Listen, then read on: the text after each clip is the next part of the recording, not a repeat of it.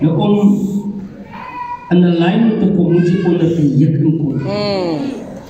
Jy moet onder 'n juk inkom. Yes. En die Here Jesus sê hy sê dat my juk is sag en my las is lig prys die Here Jesus.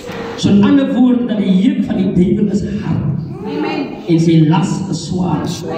Maar die Here sê dat my juk is sag Mm. en my las is lig. En maar wat is 'n juk?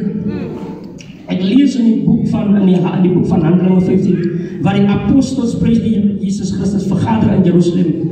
En daar was daar was sekere van die van die van die disippels van die gelowiges in Jerusalem wat uitgegaan het na die heidene toe een van hulle gesê het maar julle moet die wet onderhou anders kan julle nie gered word nie. Mm -hmm. En apostel Petrus staan op en hy vra aan my broers, waarom wil julle 'n juk op die mense sit? 'n Juk wat ons en ons vaders nie eens kan gedra het. nie. So in ander woorde, 'n juk prys die Here Jesus as 'n wet of 'n obligation. Prys die Here Jesus Christus. En apostel Paulus sê hy sê ek is nie onder die wet. Maar ek is ook nie sonder die wet van God nie. Maar ek is onder die wet van Christus, prys die Here Jesus. Jesus sê dat 'n nuwe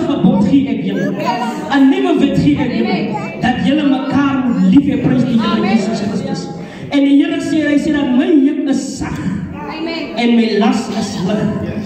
Hy sê leer van my. Hy sê wanneer julle my juk op julle het, sal julle rus vind Amen. vir julle siele prys die Here Jesus. So in ander woorde die oomblik wanneer iemand onder 'n juk is, 'n juk is iets wat jou siel effek.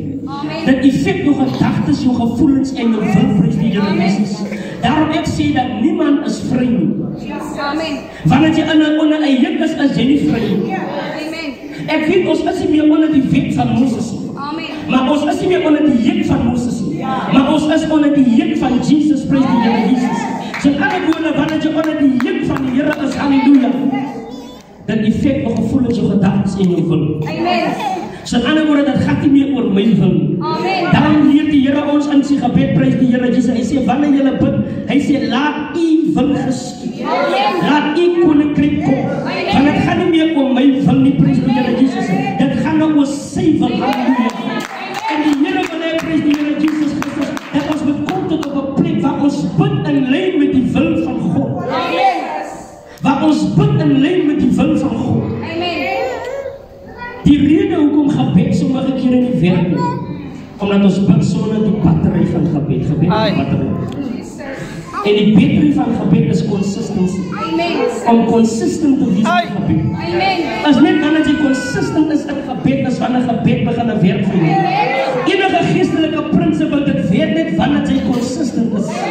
Tiendes en offerings dit werk wanneer jy consistent is. Dit is die battery wat dit laat maak werk, prys die Here Jesus. Maar as jy nie consistent is in dit wat jy doen of in jou gee of in of enige die Here Jesus. En dis wat mense bring op moedverlose vlakte waar hulle begin nou moed opgee. Maar ons is hier om vir iemand te sê wat die voordigte nog gesê het,